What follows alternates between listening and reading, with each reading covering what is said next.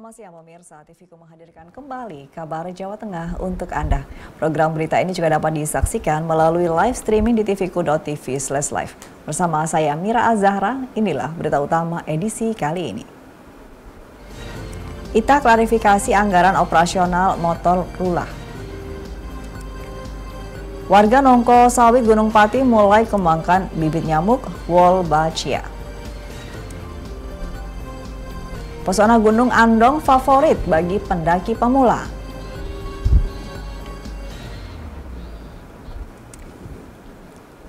Pemirsa inilah kabar Jawa Tengah selengkapnya kami awali dari kota Semarang. Logistik pemilu tahap 1 lengkap diterima KPU Kota Semarang. Logistik pemilu tersebut di antaranya bilik suara, kotak suara, tinta, segel plastik, dan segel stiker yang saat ini disimpan di gudang KPU Kota Semarang di kawasan industri Candi. Dua bulan jelang pelaksanaan pencoblosan pada pemilu 2024, tanggal 14 Februari 2024 nanti, KPU Kota Semarang telah menerima seluruh kebutuhan logistik pemilu tahap pertama.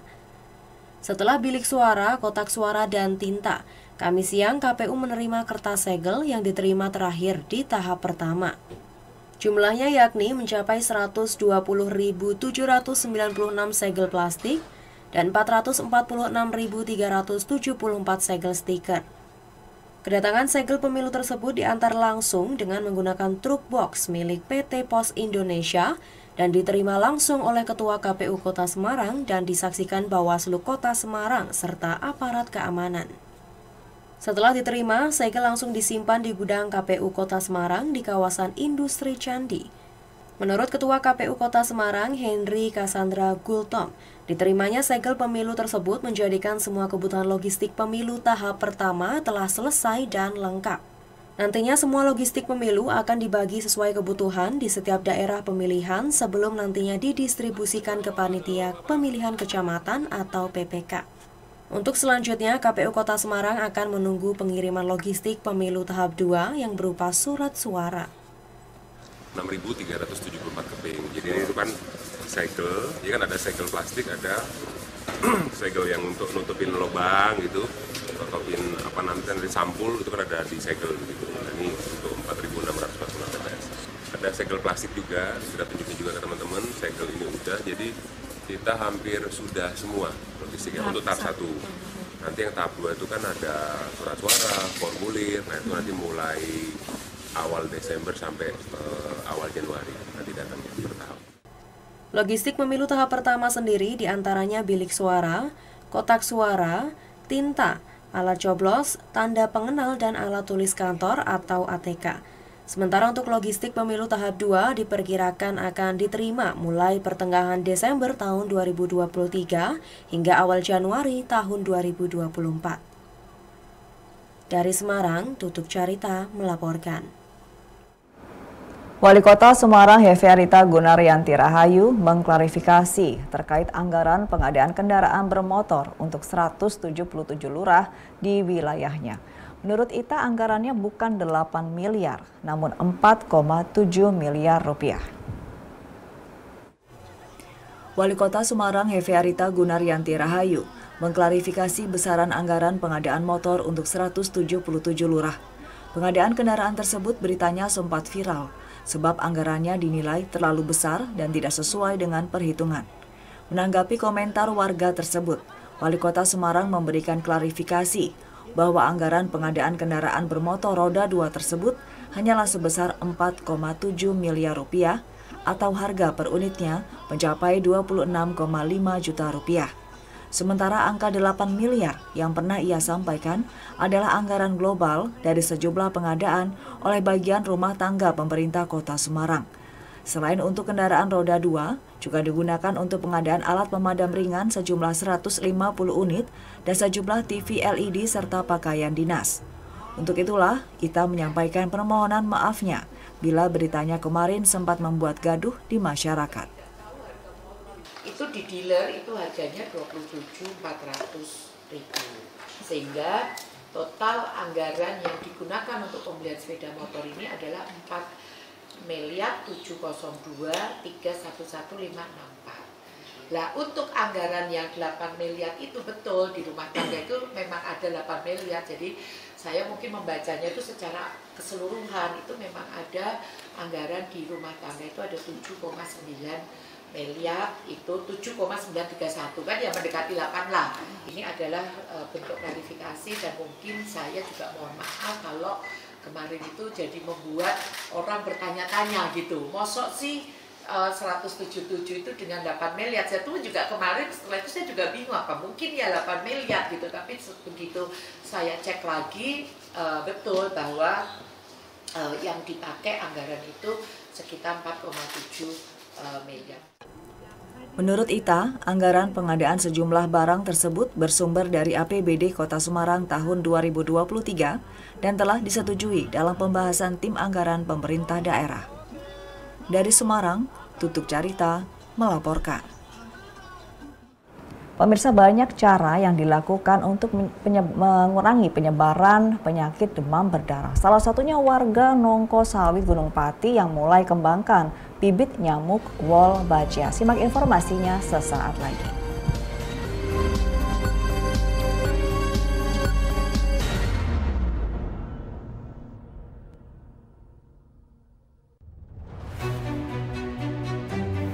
Jadi rumah BUMN Gunung Kidul ini dibangun untuk mendampingi UMKM agar lebih dikenal di banyak kalangan masyarakat. Salah satu dari empat prioritas programnya adalah ekspor. Kemudian eh, kami dapat tawaran dari PLN untuk mengikuti pameran di Pasar Senggol Turki. Eh, untuk PLN kami menyampaikan yang pertama terima kasih atas kesempatannya selama ini. Jadi selama dua tahun ini kami diajak untuk ikut pameran G20 kemudian kami diajak untuk kemarin pameran kami berharap rumah BUMN Gunung Kidul binaan PT PLN Persero dapat menjadi wadah bagi UMKM di Yogyakarta dan sekitarnya. Rumah BUMN Gunung Kidul dari Yogyakarta untuk dunia.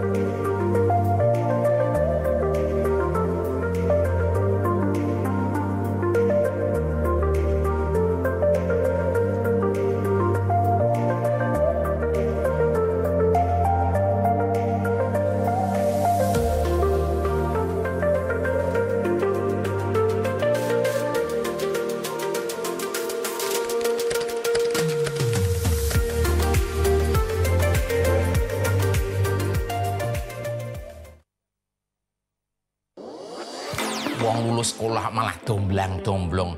Pengen langsung kerja. Mbok kuliah neng dinus-dinus apa kae sing kampusnya biru nggone Mbak Yumu kuliah karo kanca-kancane kae lho. Eits, itu Udinus, Universitas Dian Wiswantoro, salah satu pelopor kampus teknologi dan komputer di Indonesia. Nah, contohnya Mbak Yumu karo koncone. Mbak Yumu lulus kuliah langsung kerja. Koncone lulus kuliah buka usaha. Kan iso membuka lapangan pekerjaan. Universitas Dian Nuswantoro, perguruan tinggi terakreditasi unggul dengan lima fakultas unggulan, program pasca sarjana, dan program doktor. Kampus adem, apik kaya mall. Mahasiswane ya akeh sing berprestasi nasional sampai internasional. Udinus berada di pusat kota Semarang dengan akses mudah, lengkap dengan fasilitas laboratorium, sport center, poliklinik, suasana kampus yang edukatif, dan kolaboratif. Jolali, yuk daftar Udinus Polke, Universitas Dian Nuswantoro, jempol, dan oke. Okay.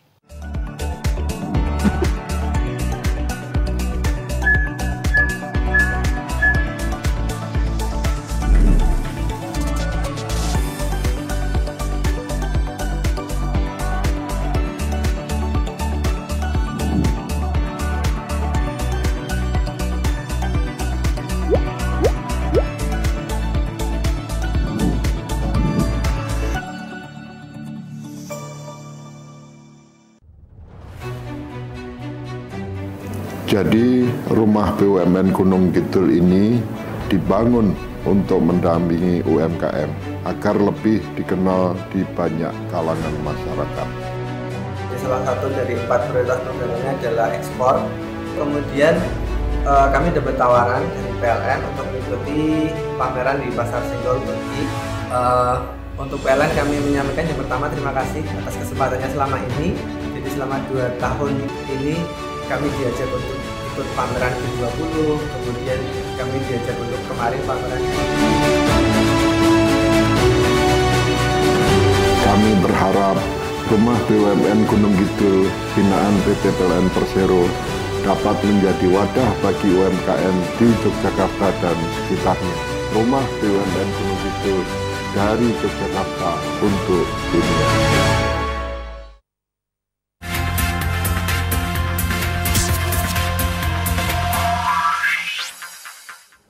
Terima kasih pemirsa dan masih bersama kami di Kabar Jawa Tengah. Semburan lumpur bercampur gas mengemparkan warga Kelurahan Tempuran, Kabupaten Demak. Kemunculan semburan lumpur setinggi 2 meter tersebut membuat pemilik rumah terpaksa mengungsi ke tempat lain. Semburan lumpur bercampur gas hingga Jumat siang masih terus terjadi di rumah milik Muhammad Soli, warga Kelurahan Tempuran, Kabupaten Demak.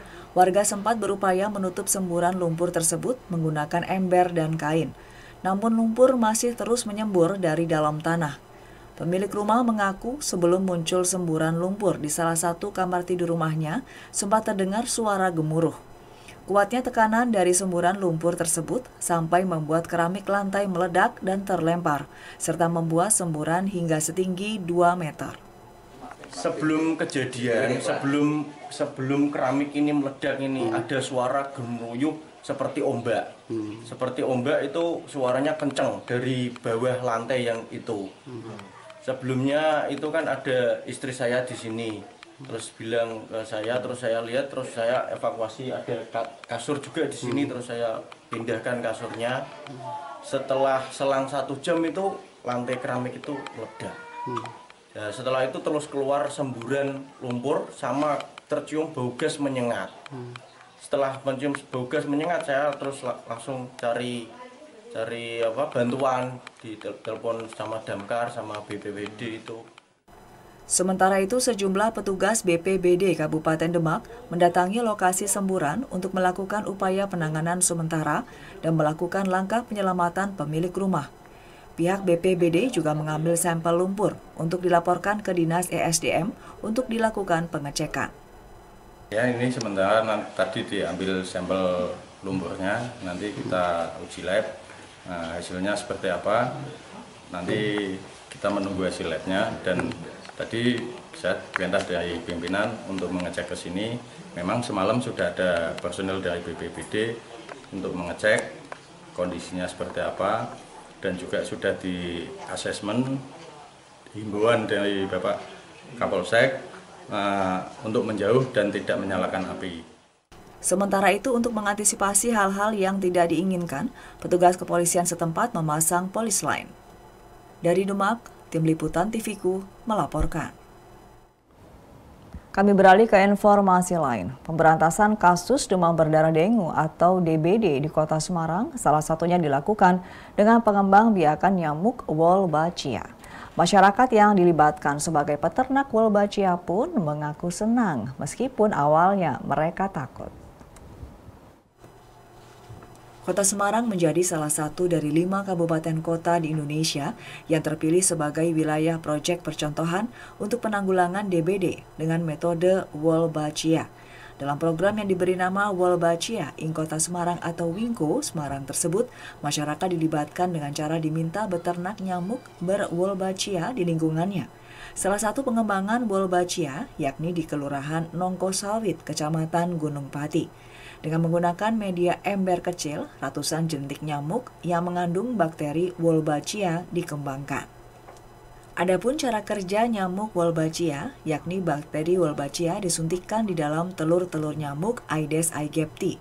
Telur tersebut akan menjadi jentik dan pupa hingga akhirnya menjadi nyamuk dewasa. Nyamuk dewasa akan keluar dari lubang ember dan akan kawin dengan nyamuk lokal – di mana nyamuk lokal ini membawa virus dengue penyebab demam berdarah. Jika nyamuk berwolbachia jantan kawin dengan Aedes aegypti betina, maka virus pada nyamuk betina akan terblok. Apabila nyamuk berwolbachia betina kawin dengan nyamuk jantan yang tidak berwolbachia, semua telurnya akan mengandung wolbachia. Dengan cara itu, virus dengue dalam tubuh nyamuk Aedes aegypti akan mati dan tidak bisa lagi menular ke manusia. Epidemiolog Kesehatan UPTD Puskesmas Gunung Pati, Hendri Haryanto mengatakan, nyamuk Wolbachia sudah disebar di setiap RW di Kecamatan Gunung Pati sejak 21 November 2023 kemarin. Nyamuk Wolbachia akan berjalan maksimal 6 bulan setelah penyebarannya.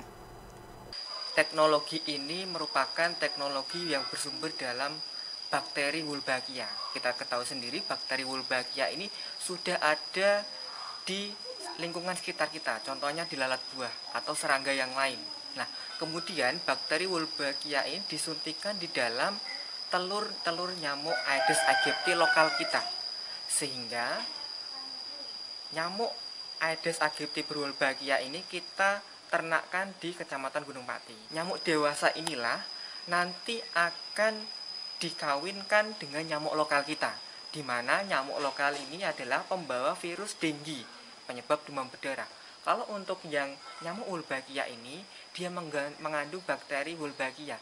Nanti akan kemudian menekan replikasi si virus denggi hingga akhirnya di tubuh nyamuk tersebut tidak ada yang namanya virus denggi.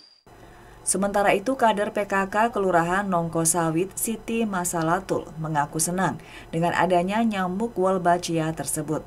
Meski awalnya warga takut, namun setelah mendapat penjelasan melalui sosialisasi, warga akhirnya dapat menerima dan berharap wilayahnya terbebas dari nyamuk Wolbachia. Awalnya sih pada ndak kan belum tahu, belum ada sosialisasi. Setelah ada sosialisasi, mereka juga pada akhirnya menerima lah karena ini untuk menekan uh, eh, DP. Sudah pada menerima. Alhamdulillah kemarin dari 50 ember hmm. sudah sudah apa pada tempatnya semua. Hmm. Mereka pada menerima semuanya. Ya kalau harapannya zero, kalau mus, kalau yang uh, apa taraf yang sekarang kan mudah-mudahan DB itu bisa di apa ditekan lah intinya kayak gitu kan. Jadi mudah-mudahan sudah tidak ada DB lagi, lagi kayak gitu. Untuk diketahui, di kota Semarang sudah ada tiga kecamatan yang menyebar nyamuk Wolbachia yakni Kecamatan Tembalang, Kecamatan Banyumanik, dan Kecamatan Gunung Pati. Rencananya di tahun 2024, penyebaran nyamuk Wolbachia bisa menyeluruh di 16 kecamatan yang ada di kota Semarang. Dari Semarang, Tutuk Carita melaporkan. Pemirsa usai jeda kami akan mengajak Anda untuk menikmati pesona Gunung Andong favorit bagi pendaki pemula. Sesaat lagi.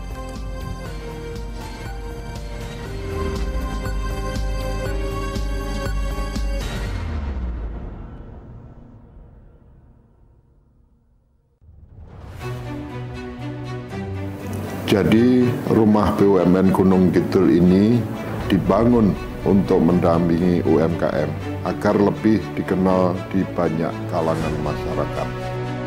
Salah satu dari empat prioritas programnya adalah ekspor.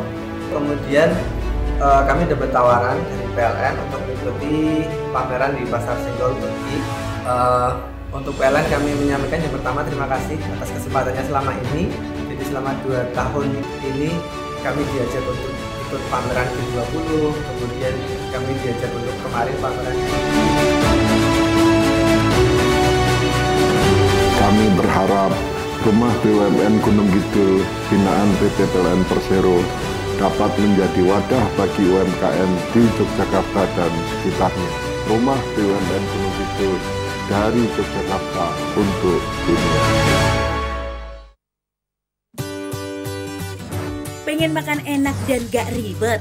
Leleku Bumbu punya solusinya.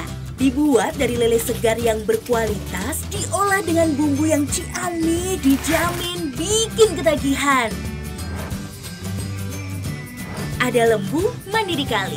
Hmm, leleku bumbu enak sekali.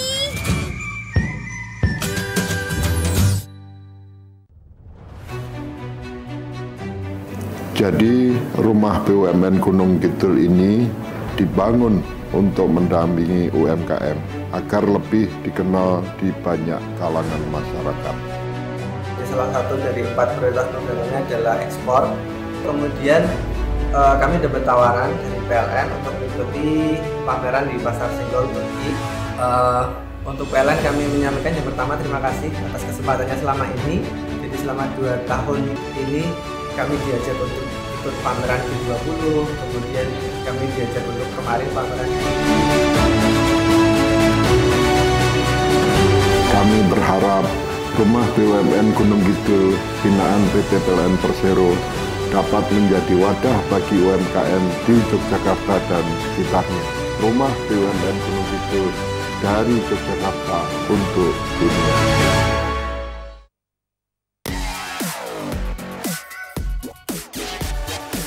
Tulip Active Series. Flawless Press Powder.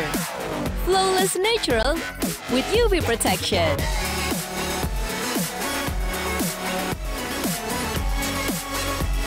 Shimmering touch for natural glow. Stay active, be beautiful with La Tulip Active Series. Guys, mau tahu kenapa aku daftar Udinus? Yang pertama, karena Udinus sudah teragregasi unggul. Lokasinya ada di tengah kota Semarang.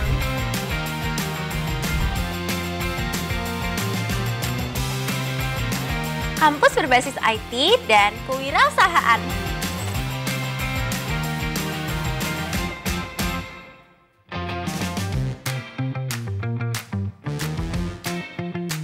Punya stasiun televisi sendiri loh.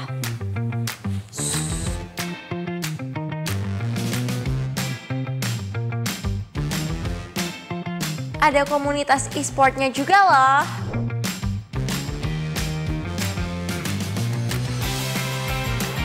Kampus bebas narkoba.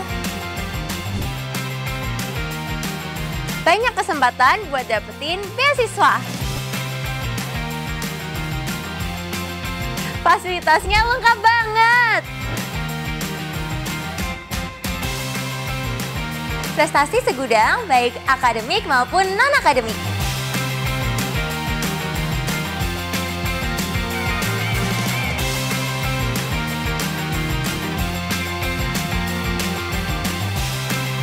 Kampusnya nggak cuma ada di Semarang loh, tapi ada di Kediri dan juga Lombok.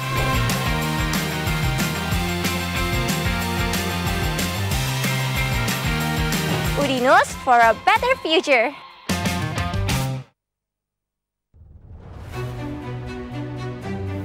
Jadi rumah BUMN Gunung Kidul ini dibangun untuk mendampingi UMKM agar lebih dikenal di banyak kalangan masyarakat. Salah satu dari empat prioritas programnya adalah ekspor. Kemudian eh, kami dapat tawaran dari PLN untuk mengikuti pameran di Pasar Senggol Turki. Uh, untuk PLN kami menyampaikan yang pertama terima kasih atas kesempatannya selama ini. Jadi selama dua tahun ini kami diajak untuk ikut pameran G20, kemudian kami diajak untuk kemarin pameran Kami berharap rumah BUMN Gunung Kidul binaan PT PLN Persero dapat menjadi wadah bagi UMKM di Yogyakarta dan sekitarnya. Rumah BUMN Gunung Kidul dari Yogyakarta untuk dunia.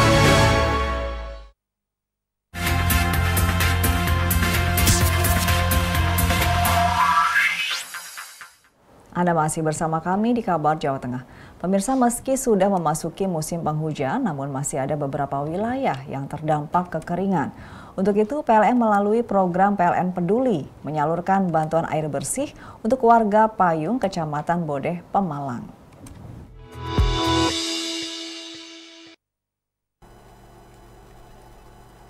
PLN Peduli berkolaborasi dengan pemerintah daerah setempat melalui BPBD memetakan titik-titik prioritas warga yang sangat membutuhkan bantuan air bersih ini. Total ada tujuh kecamatan di Pemalang yang mendapatkan air bersih, yaitu Bode, Pulau Sari, Belik, Bantar Bolang, Watu Kumpul, Warung Pring, Randu Dongkal dengan 28 desa tersebar. Dengan kondisi kekeringan yang sangat luas, mereka membutuhkan sekitar 239 tangki air berkapasitas 5.000 liter. Bantuan air bersih dari PLN Peduli ini adalah bentuk tanggung jawab sosial perusahaan terhadap masyarakat terdampak kekeringan di Kabupaten Pemalang. Ini adalah salah satu tanggung jawab sosial lingkungan atau TJSL dan salah satu cara kami mendekatkan diri kami kepada pelanggan Mudah-mudahan dengan bantuan ini masyarakat bisa terbantu dari bencana kekeringan dan semoga cuaca segera membaik dan air segera mengalir.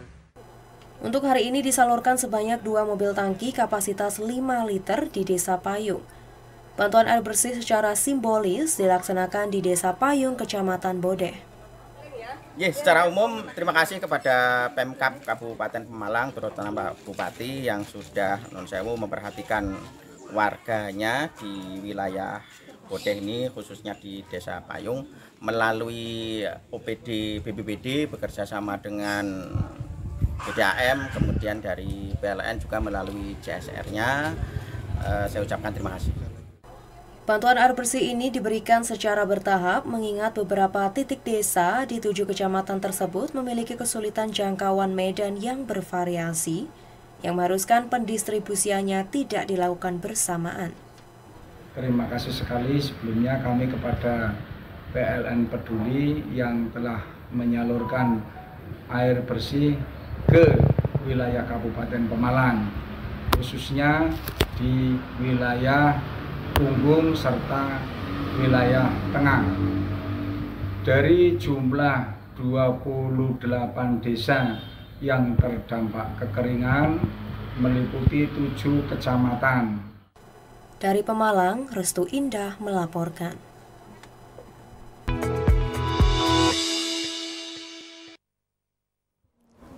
Pemirsa Jawa Tengah memiliki bentangan alam berupa gunung yang mempesona, salah satunya Gunung Andong.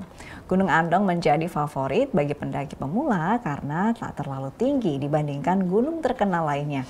Dan pemirsa informasi ini sekaligus men menyudahi jumpa kita di kabar Jawa Tengah. Program berita ini juga dapat disaksikan melalui live streaming di tvku.tv live. Saya Mira Azhara dan teman-teman yang bertugas mengucapkan terima kasih atas kebersamaan Anda. Selamat siang, stay safe, stay healthy, sampai jumpa.